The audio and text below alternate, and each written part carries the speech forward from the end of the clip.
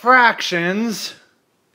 If that's what you were thinking, then you are going to love this lesson because we are going to be covering a technique called clearing fractions, which is basically going to help you not have to work with fractions when solving equations.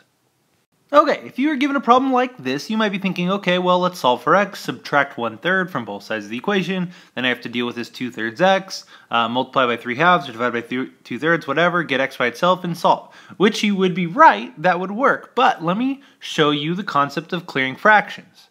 I'm going to go ahead and multiply each side of the equation by 3.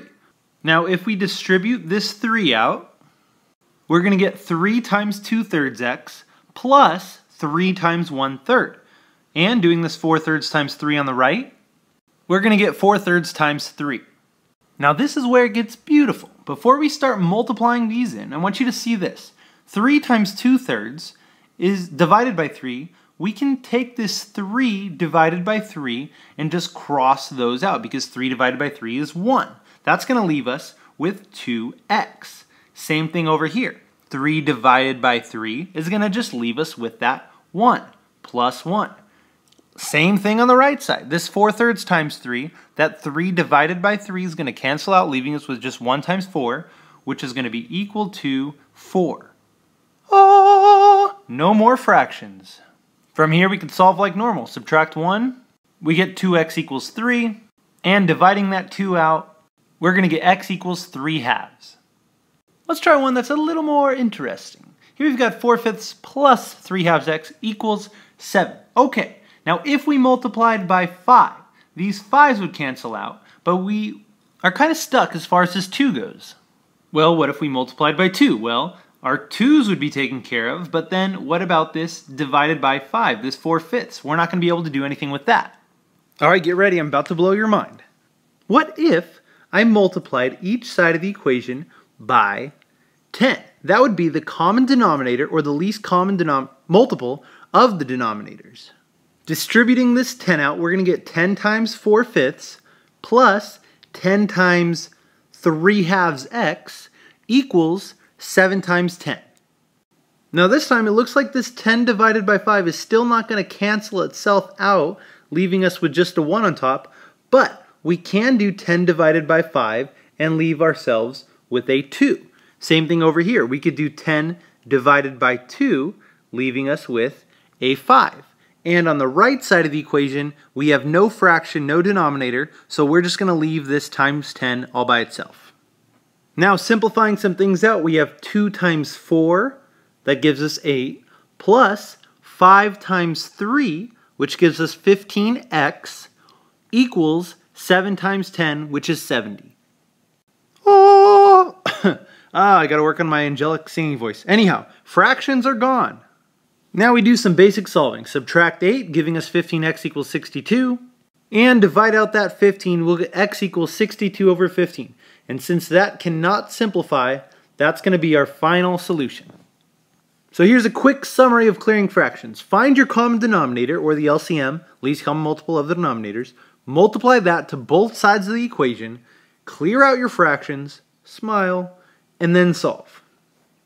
Here we've got q plus 4 thirds equals 1 fourth q minus 1 half. First, what's our common denominator? What's the least common multiple of all these guys down here? We've got 3, 4, and 2.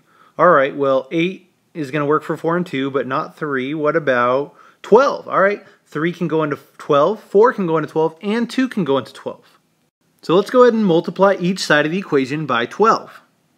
Distributing that in, we have 12q plus 12 times 4 thirds equals 12 times 1 fourth q minus 12 times 1 half. Okay, let's clear these guys out. 12 and 3, going to leave us with 4. 12 divided by 4, it's going to leave us with 3. And then 12 divided by 2 leaves us with 6. From there, let's rewrite our equation without fractions. 12q plus 4 times 4, 16, equals 3 times 1, 3q, minus 6 times 1, 6. Now we just need to solve. Subtracting our 3q over gives us 9q plus 16 equals negative 6. Then moving the 16 over to the right, subtract it. 9q equals negative 22. And dividing that 9 out, we get q equals negative 22 over 9. All right, last one, just in case you come across something where you have a fraction multiplying across a group. Now feel free to distribute this out and then clear your fractions. But if you want to save even more time, you can treat each of these like a separate term. Whenever you're multiplying, it only counts as one term. So we can proceed like normal. I'm going to multiply each side of the equation by 6, which is my common denominator or my least common multiple of 3 and 2. That's going to give me 6 times 2 thirds x plus 1. This 6 does not distribute into both the fraction and the parentheses. It just needs to multiply out front. Equals 6 times 1 half x minus 2. My 6 and 3 are going to cancel out, leaving me with a 2 on top. My 6 and 2 over here cancel, leaving me with a 3. Multiplying that in, I have 2 times 2, which is 4, times x plus 1 equals 3 times 1, which is 3, times x minus 2. Then let's solve. Distribute this 4 out, we get 4x plus 4. Distribute the 3 equals 3x minus 6. Subtract the 3x over, and we're left with x plus 4 equals negative 6. And subtract the 4, we're left with x equals negative 10.